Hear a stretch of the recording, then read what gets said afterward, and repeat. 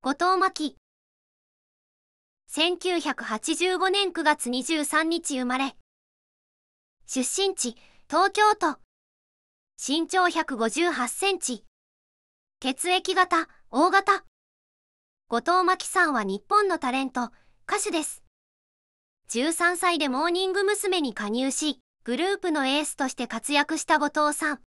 プロデューサーのつんくさんにも圧倒的な才能の持ち主、と評されました。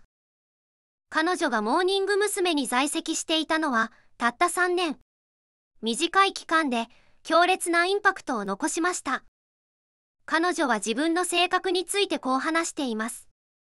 私、努力っていう言葉が嫌いなんですよ。努力してるって思われたくない。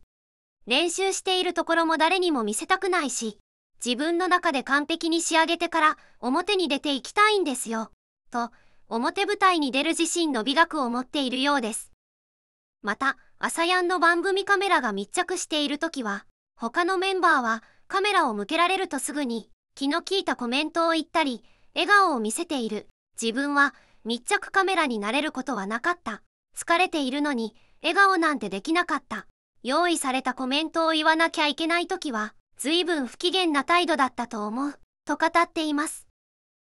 さらに、モーニング娘。メンバーの小田桜さんが、後藤さんのプロ意識を話しています。後藤さんは2時間前に楽屋入りしてまつげを1本ずつピンセットで整えていたそう。